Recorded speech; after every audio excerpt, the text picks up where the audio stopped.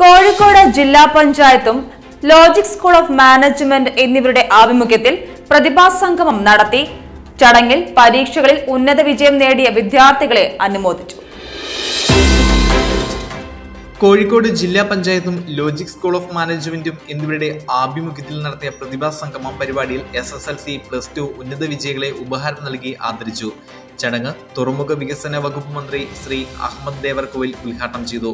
കോഴിക്കോട് ജില്ലാ പഞ്ചായത്ത് പ്രസിഡന്റ് ശ്രീമതി ഷീജ ശശി ചടങ്ങിന് അധ്യക്ഷത വഹിച്ചു.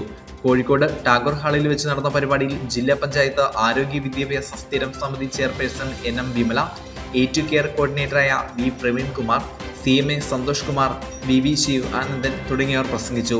ജില്ലയിലെ പ്രൊഫഷണൽ വിദ്യാഭ്യാസ രംഗത്തെ മികച്ച സേവനങ്ങൾക്ക് ലോജിക് സ്കൂൾ ഓഫ് മാനേജ്മെന്റിന് മന്ത്രി അഹമ്മദ് ദേവർകോവിൽ അവാർഡ് നൽകി അനുമോദിച്ചു.